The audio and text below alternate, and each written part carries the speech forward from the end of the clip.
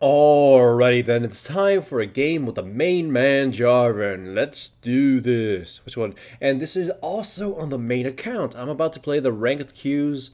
Let's do it with the main account now, just to get it through promotion, since you guys know I've been playing with the other ones. Anyhow, I actually went into this game thinking I was going to go, you know, full on ass destroyer Jarvan, because look at their team comp. Their front line is Poppy, and yeah, she can stop Jarvan, but my idea was to sort of uh, try to either go through Nocturne and kill the Caitlyn or the Xerath or something like that. You know, just pierce through and dunk them. Maybe kill two people and then die. But I was hoping. Look, my team is ridiculously destructive, and if we if I kill one of their main targets, one of their MVPs, they the rest of them just sort of you know fall fall apart. That was my idea. That was my intention. But you'll see the game sort of develops into a way in which uh, I can't really do that. So you're going to see my item build go from an AD build and then sort of rework that into a sort of bruiser then tank build. So just keep that in mind, you'll see. Anyways, my teammates uh, both get killed two, two for nothing right now. I end up catching the Nocturne, luckily, because uh, I guess his teammates just sort of abandoned him and they didn't try to, you know, lobby up some uh, tank shots, I mean turret shots or anything. So he just kind of died ungloriously. Still, though, we're two for two right now. The, atmosphere for the game is already toxic. Players are already fighting, already arguing. The Vayne is yelling at the Thresh. I'm getting yelled at with the Viktor for, I don't know, not ganking. But as you can see, it just kind of can't be done. Again, my item is tailored sort of to go for physical first because I wanted to kill them. But yeah, uh, just sort of look at how the game is developing right now. I can't really kill or gank anybody because mid lane is very the, the Xerath is kind of you know toying with the Viktor at this point. The Viktor does manage to kill the Xerath, but I didn't catch it on the replay camera. The Xerath just kind of very fucked up in his approach and got punished for it.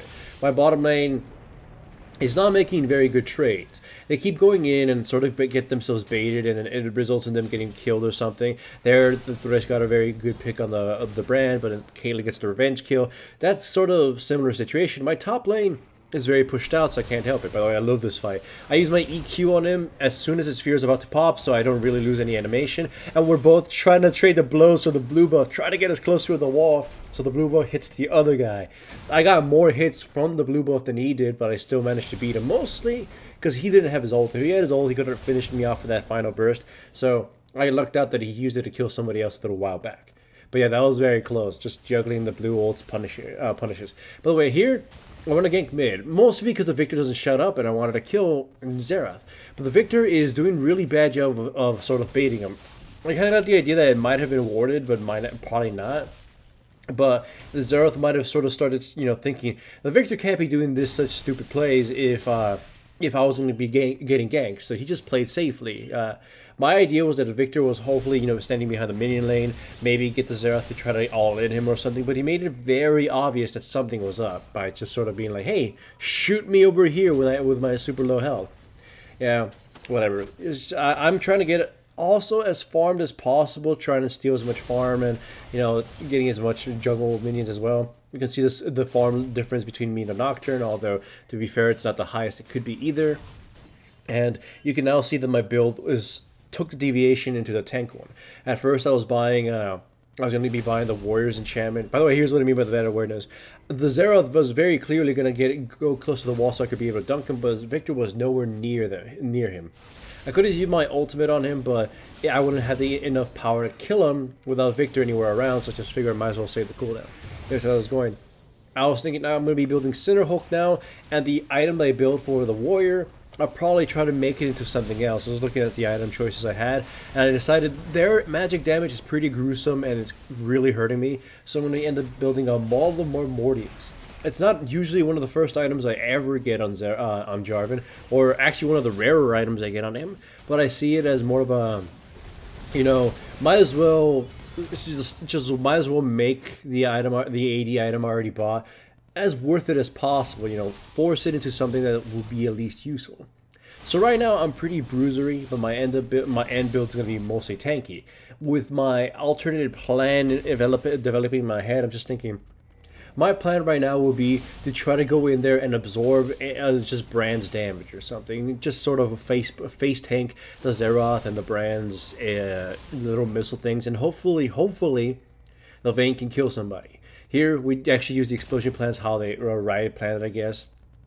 We we go over the wall. We trap them both. Uh, we kill the Brand first, mostly because the the Caitlyn had obviously escapes. We kill Brand. Vayne gets super low, and we we beat down the Caitlyn, and then in comes the enemy Xerath's ultimate, and then in comes the Nocturne finishing off Thresh. But I'm not done yet. Uh, obviously, I have to run away from Nocturne because I'm going to die from him, but Viktor's coming from the flank, and the Nocturne doesn't seem, uh, seem to notice or really care or whatever. So I try to go for him, or at least try to bait him to try to kill me. Uh, I think he thought he's going to be sneaky, so he goes around, knock him up. I run away. And he simply kind of just didn't pay attention to the fact that Viktor was coming. He avoids everything mostly because Viktor misses, and then Viktor goes a little too gung ho, so the Nocturne thinks he can pick him off, which is honestly really dumb. So he, he immediately destroyed Nocturne now that my teammates have revived and had a long, long chance of just walking in there. Xerath too with no with I mean no health, just kind of stuck around too, so he ended up getting killed too. The, again, the enemy team shouldn't have really died in this situation.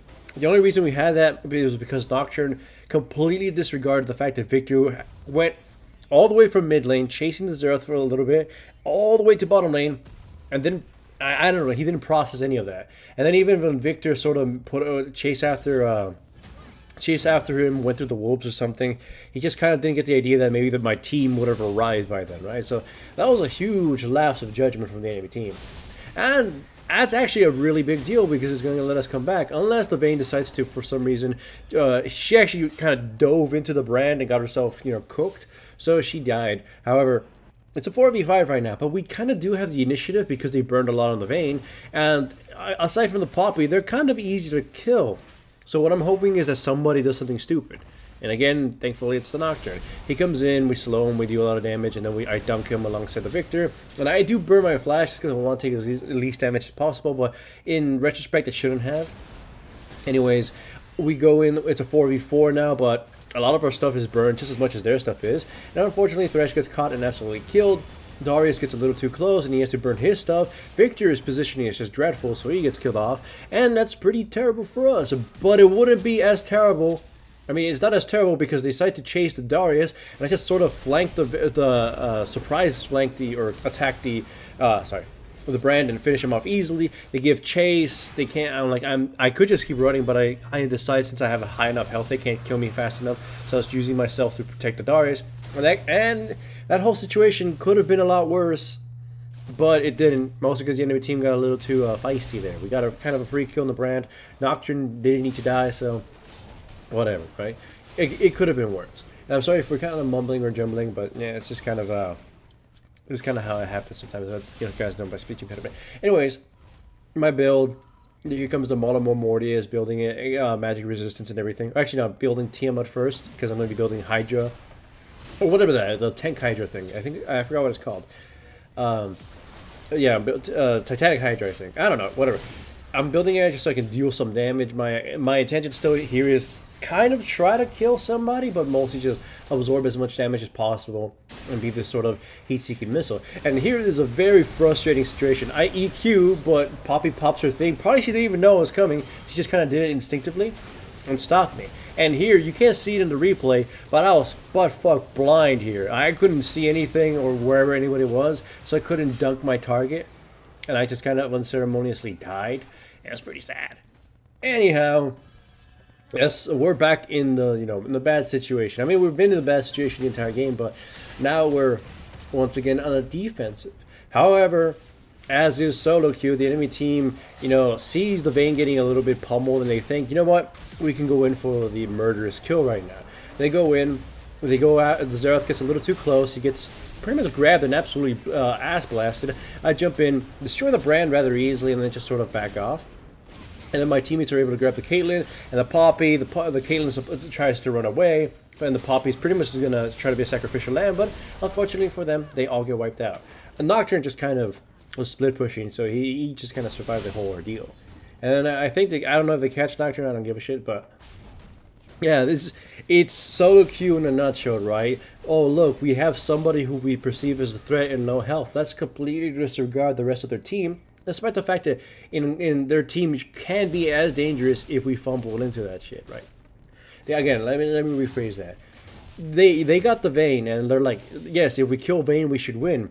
but they forget that if they approach any situation poorly, especially tower diving, they're all going to get killed. And they did.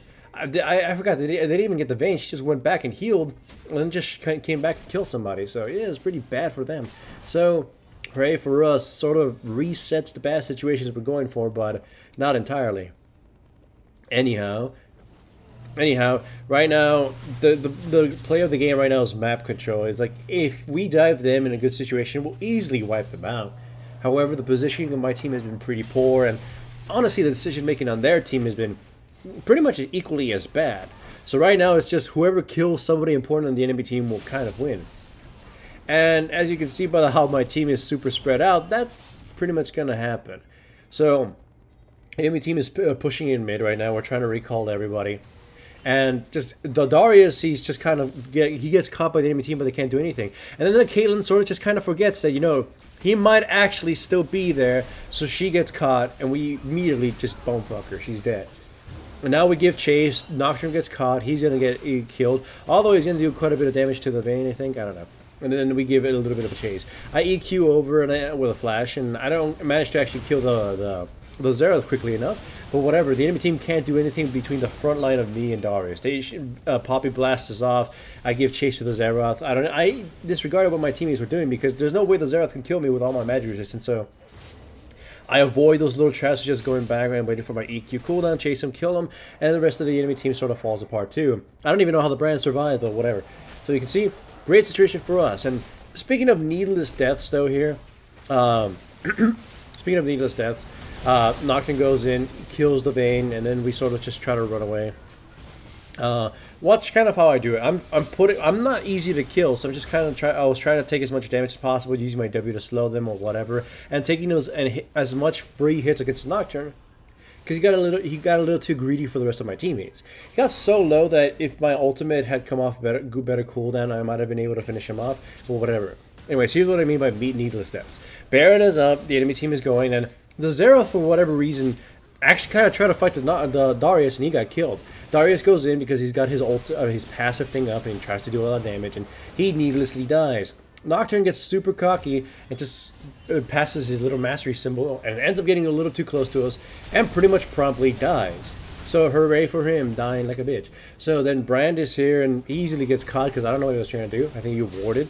And then he gets killed too. So we got basically three free kills. Sure, Darius died and he kind of didn't need to die, but those were still three pretty much free kills. It, it cost us some ultimates or whatever. And talking about needless deaths, I EQ into the Caitlyn for some fucking reason. I, I guess I thought that maybe I, I wouldn't die as quickly or as pathetically, but I died really pathetically. I don't even know why the. In retrospect, I was like, why the fuck did I do that?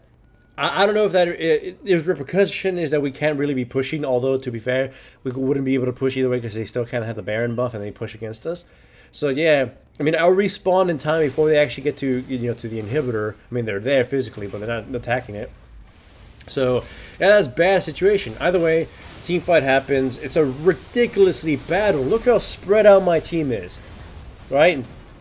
We have high threat champions, but nobody's protecting the Vayne. The Darius just is hitting the wind. And me, I, I caught them, but I have no damage of my own, so I pretty much did nothing. That was an atrocious team fight. And honestly, because of how bad that one was, we pretty much do deserve to lose the game. And we do such that. And we do that. Just that was really bad. Up until this game, we were kind of doing, you know, recovering and doing performing well, and there was a lot of, you know, good plays here and there maybe. But damn, we deserve to lose after that team fight. Alrighty then, it's time for another loot crate unboxing. This is the December crate. It's a very, I think it's a believe it was a fantasy inspired one. So I'm gonna assume stuff like, uh, I don't know, hopefully Mount and Blade, but that's wishful thinking. I'm gonna just assume maybe like For Honor because I think they were promoting the Assassin's Creed and just basically nice stuff. Probably Dark Souls too, but we'll see. Anyways, let's see. Obviously, there's always a shirt first, that I always get out first. Hey, this one's a, a thick one. Oh. Okay. Uh, okay, I don't even. I, am gonna assume I know what it is. It looks sort of looks like a Mario themed. What's called? Uh, uh, I don't know. It says Mr. Robot. Oh, is that? Oh, is that show? Uh, Mr. Robot. I, I, think that's what it's called. Well, I don't know. It's called a show. It says I'm gonna assume Fuck Society, but it's whatever. I forgot. Look at it. Something November. Uh, Guy Guy Fawkes. There we go, Guy Fawkes. I was trying to remember. I just kind of associated with neckbeards now. I don't know what this is, but I'll look at the book. It looked like Mario, but it says Mr. Robot, so I'm going to assume it's something else. All right? It's a box, so it's to be a little figurine, and it is an Aguilar. Okay, Assassin's Creed. I haven't played any Assassin's Creed beyond the first two, so I don't know who this character might be. Or actually, I didn't even really play the second one all that much, so I actually don't even know. So I don't know this, but my brother's played every single one because he really likes Assassin's Creed. So I'm just gonna give this one to my brother. So there you go. That one's for him. Eh, or I guess my wife. I don't know. Oh, the shit! This book's huge. It, it feels like a book. This one's. Oh yeah, that. Eh. It's a huge book. All right, and it is pop culture photography of Daniel Picard. All right. Oh, afterward by Kevin Smith and forward by Simon Pegg. Simon Pegg, you know from uh, let's call it uh, Shaun of the Dead. Oh, a little card here. I don't know. It has a code for me. I'll use it for myself if I like it.